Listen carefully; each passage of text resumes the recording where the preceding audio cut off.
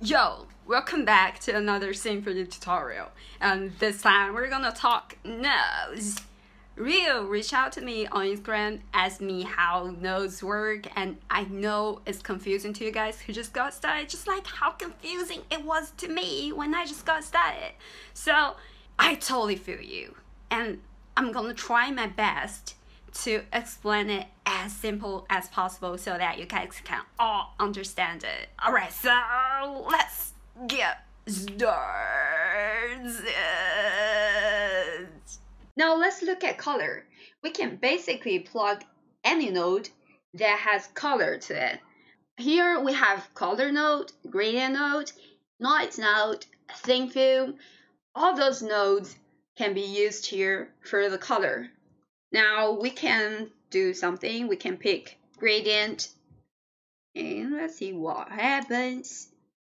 Here we have our gradient. If you want to add variability in the color, you can also choose other nodes as different layers. Let's say noise.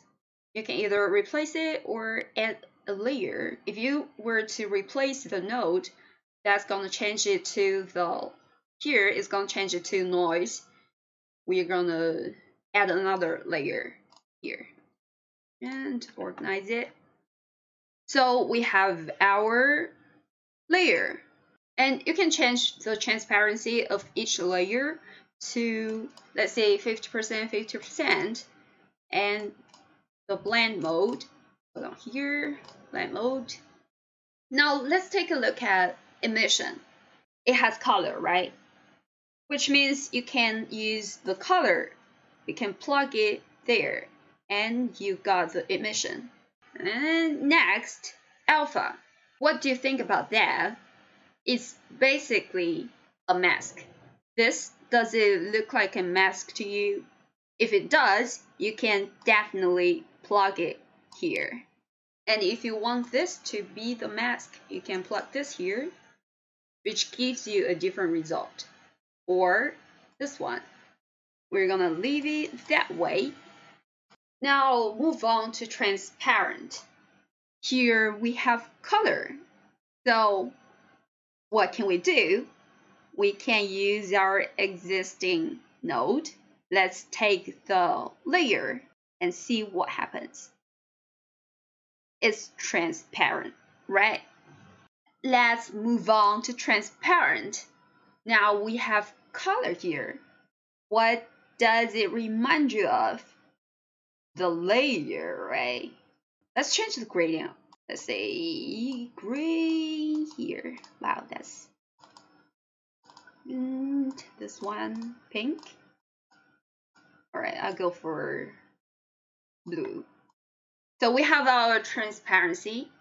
Now we can use our existing gradient node, or you can use other ones, or the layer.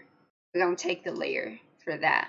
And now you can see the transparency there, which means you can plug all the nodes that contain color to the nodes that need color. The next one is normal. What can you do with normal? You can plug a bump map to the normal which can transfer the noise to a normal map. Let me show you how it works.